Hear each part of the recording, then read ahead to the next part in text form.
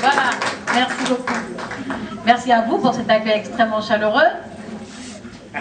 Ils disent que je suis une grande dame, une petite dame, ils me disent, ils me disent là. Ils ne réfléchissent pas à leur pupitre. Ils le font format euh, homme normal. Et puis, vous savez ce qu'il me propose dans le Lawedge Il me dit, on te met ça. Vous me voyez perché sur ça, là Et puis, oui, en plus, euh, je risque de tomber. Merci Gérard pour ces paroles de grande vigueur. Merci aussi pour tes paroles chaleureuses à mon égard. Et merci de nous donner l'hospitalité dans ta ville. Merci, Monsieur le Président de la Fédération du Parti radical de gauche, Ahmed Lawedge, d'avoir euh, organisé cette rencontre ce soir avec vous et d'avoir demandé à Gérard de nous recevoir dans sa ville.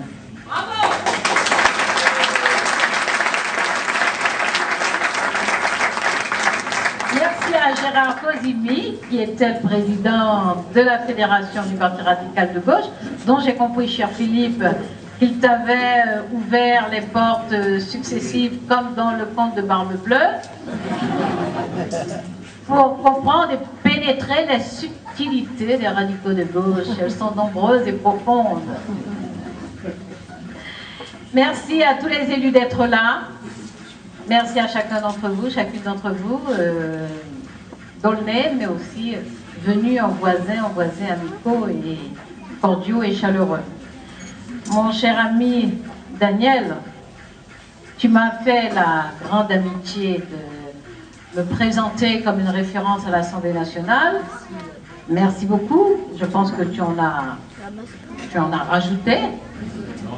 Mais euh, je dois vous dire, je dois vous dire que moi j'ai beaucoup d'estime et beaucoup d'amitié pour Daniel. Et d'ailleurs cet après-midi nous avons eu l'occasion l'o- euh, pour la rencontre avec euh, les femmes de l'AXA, j'ai eu l'occasion de rappeler des interventions très percutantes euh, de Daniel. Donc euh, nous travaillons en, en collaboration intense, en complémentarité, nous sommes sur les mêmes lignes, nous sommes sur les mêmes valeurs. Et j'espère bien que vous le confirmerez comme euh, député de façon à ce qu'il apporte sa contribution significative. Il connaît bien son terrain, il connaît bien qu'il apporte sa contribution significative à l'application du programme de François Hollande.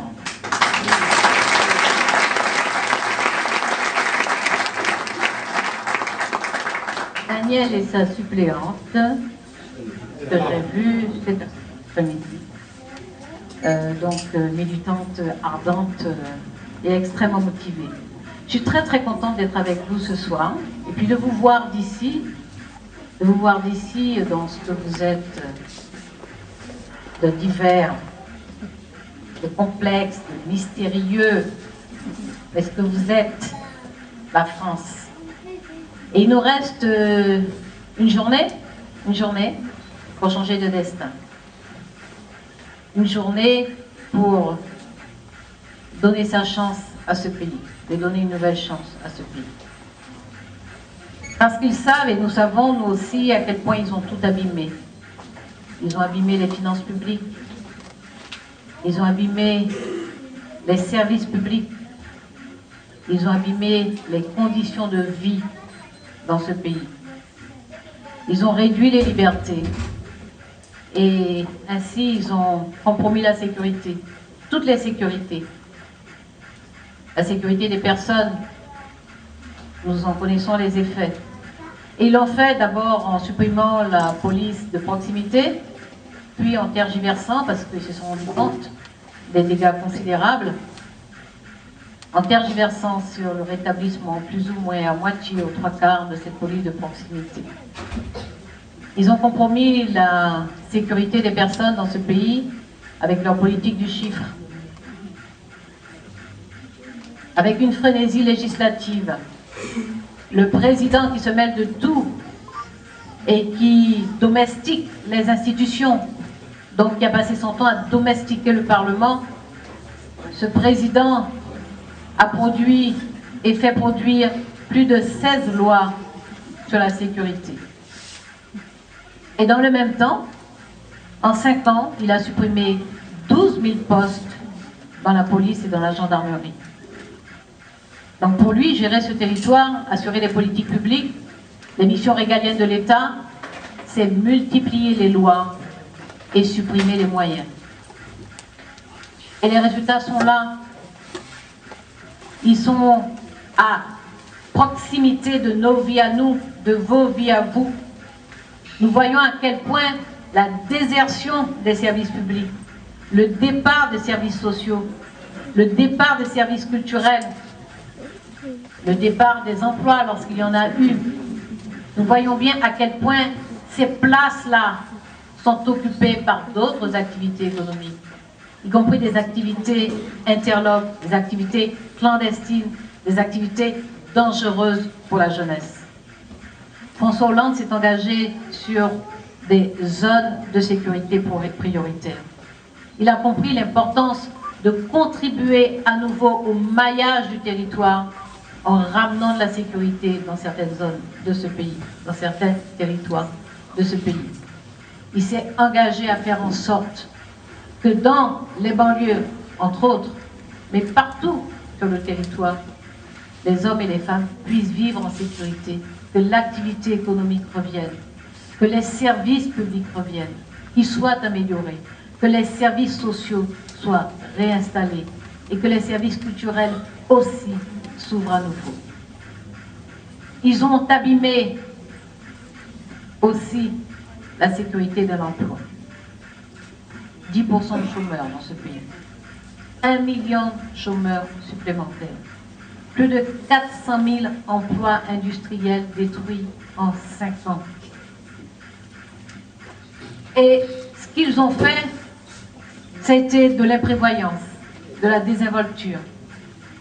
Aucune préoccupation sur ces territoires agricoles qui, étaient, qui avaient besoin d'une diversification, qui avaient besoin d'une revitalisation. Aucune prévoyance sur ces territoires industriels qui sont devenus des friches. Aucune prévoyance sur la recherche. Pire, un affaiblissement de la recherche. C'est-à-dire de la capacité à identifier, à détecter les nouveaux secteurs d'activité, les, les nouvelles filières d'activité, les nouveaux métiers, les nouveaux services. Et puis de la négligence et le refus de légiférer. Lui qui fait tant de lois, le refus de légiférer sur les délocalisations abusives. François Hollande s'engage sur le retour de la production, sur la réindustrialisation de ce pays sur l'encouragement de la recherche de façon à ce qu'on perçoive les métiers du 21e siècle et qu'on se prépare à exercer ces métiers du 21e siècle, que l'on forme la jeunesse à ces métiers du 21e siècle. Ils ont abîmé l'accès aux soins. Ils ont laissé faire. Libéralisme débridé, dépassement d'honoraires. Ils ont procédé au déremboursement de médicaments. Ils ont instauré le forfait hospitalier. Ils ont imposé aux hôpitaux publics la tarification à l'activité. Ils ont ajouté des taxes aux mutuelles et à la prime complémentaire. Ils ont donc réduit, notamment pour les citoyens les plus vulnérables, les citoyens modestes, mais comme ils fragilisent aussi la classe moyenne, ils ont réduit aussi pour la classe moyenne l'accès aux soins. Et l'accès aux soins est un exercice de citoyenneté. François Hollande s'est engagé. Il s'est engagé sur le plafonnement des dépassements d'honoraires. Il s'est engagé à articuler le travail de la médecine de ville avec le service public hospitalier. Il s'est engagé à travailler pour améliorer l'espérance de vie. Il s'est engagé à ce qu'aucun citoyen ne soit éloigné de plus de trois quarts d'heure d'un service d'urgence. Sur le logement, nous savons à quel point ils ont été défaillants. Alors là aussi, ils nous ont fait des lois. Ils nous ont soumis des lois, présenté des lois, que parfois nous avons votées parce que la loi sur le principe constitue une avancée. Mais comme pour la sécurité tout à l'heure, faire des lois et réduire les moyens ne mène à rien, ne, représente rien. Et ils ont fait pareil pour le logement. Au lieu de construire des logements, au lieu de faire respecter la loi de renouvellement urbain, le principe de mixité sociale, l'obligation pour toute commune dans ce pays de faire en sorte que les catégories sociales se retrouvent ensemble dans les lotissements, dans les résidences, dans les constructions de logements. Ils ont fait la loi d'Allo en disant que cette loi d'opposabilité qui permet à une personne qui n'obtient pas de logement de faire respecter son droit au logement, puisque l'offre de logement ne suit pas, à quoi servent ces procédures judiciaires où les personnes se réfèrent à la justice pour faire respecter leur droit au logement, mais ne peuvent obtenir satisfaction parce que l'offre de logement n'est pas suffisante. Il y a donc là une mystification, un jeu pervers et cynique vis-à-vis des personnes qui ont le droit de considérer que l'accès au logement et même la propriété de son logement, c'est-à-dire l'accès à la propriation de son propre logement, constitue une des sécurités fondamentales au XXIe siècle. Ils ont joué avec cela. Et que fait-il en fin de mandat Il nous explique qu'il va autoriser 30% de construction de logements supplémentaires. On va pousser les murs.